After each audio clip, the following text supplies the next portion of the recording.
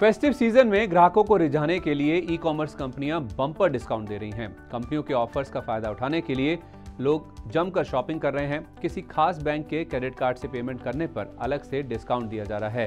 Credit card से shopping करने और बेनिफिट का फ़ायदा उठाने में कोई बुराई नहीं है, लेकिन ये फ़ायदा तभी तक सही है जब आप क्रेडिट कार्ड का पूरा पेमेंट ड्यू डेट यानी तय समय पर करें। अगर आपने क्रेडिट कार्ड बिल का समय पर भुगतान नहीं किया तो इस शॉपिंग का डिस्काउंट महँगा पड़ सकता है। इसलिए अगर आप क्रेडिट कार्ड का इस्तेमाल करते हैं तो इसकी बकाया राशि पर ब्याज कैसे लगाया जाता है, इस बारे में अच्छी तरह से समझ लें। सबसे पहले समझते हैं कि इस बार ऑनलाइन शॉपिंग का ट्रेंड कैसा है।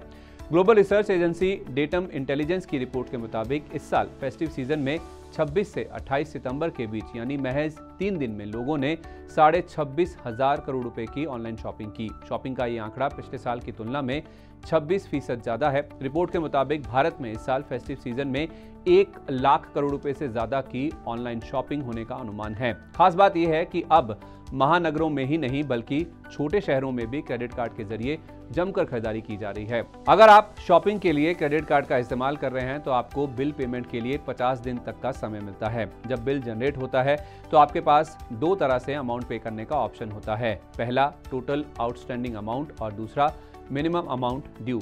Minimum due bill बिल के टोटल आउटस्टैंडिंग अमाउंट यानी कुल बकाया राशि का करीब पाँच फ़ीसद होता है। जब लोगों के पास पैसे नहीं होते तो वो मिनिमम अमाउंट ड्यू ही पे करते हैं। ऐसे में ब्याज के रूप में बड़ा खामियाजा भुगतना पड़ता है। दरअसल, नियमों के तहत अगर आप मिनिमम अमाउंट पेमेंट करते हैं तो शॉपिंग यानी ट्रांजेक्शन की तारीख से ब्याज वसूला जाता है। क्रेडिट कार्ड पर ब्याज दर को बिल स्टेटमेंट में एनुअल परसेंटेज रेट यानी एपीआर के ज़रिए दर्शाया जाता है। इससे साफ़ ज़ाहिर होता है कि ये ब्याज पूरे साल के लिए लागू होता है, लेकिन इसकी गणना रोज़ाना के हिसाब से होती है। क्रेडिट कार्ड के कर्ज पर सालाना 42 से 48 फ़ीसद तक ब्याज वसूला जाता है। क्रेडिट कार्ड के बकाए पर ब्याज की गणना कैसे की जाती है? इसे एक उदाहरण से समझते हैं। मान लीजिए अमित ने 5 सितंबर 2024 को क्रेडिट कार्ड से पचास हज़ार रूपए की शॉपिंग की और कार्ड की स्टेटमेंट डेट 7 सितंबर 2024 है, जबकि ड्यू डेट 27 सितंबर है। अमित के पास जो बिल आया है, उसमें उन्हें पाँच फ़ीसद के हिसाब से दो हज़ार मिनिमम अमाउंट चुकाने का ऑप्शन मिला है। अगर अमित मिनिमम अमाउंट पे करते हैं तो उन्हें 5 सितंबर से 27 सितंबर तक पचास हज़ार रुपए पर ब्याज चुकाना होगा। उन्हें इंटरेस्ट फ्री पीरियड का लाभ नहीं मिलेगा। 27 सितंबर से अगली स्टेटमेंट की तारीख, यानी 7 अक्टूबर तक कुल 10 दिन के लिए सैतालीस हज़ार रुपए पर ब्याज देना होगा।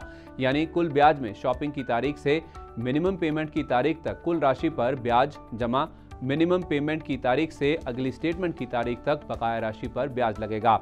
बकाया राशि पर ऊँची ब्याज दर होने की वजह से मिनिमम पेमेंट करने से बकाया राशि में ज़्यादा कमी नहीं आती। अगर आप दो चार महीने मिनिमम अमाउंट पे करते हैं तो ब्याज पर ब्याज जुड़ता रहेगा।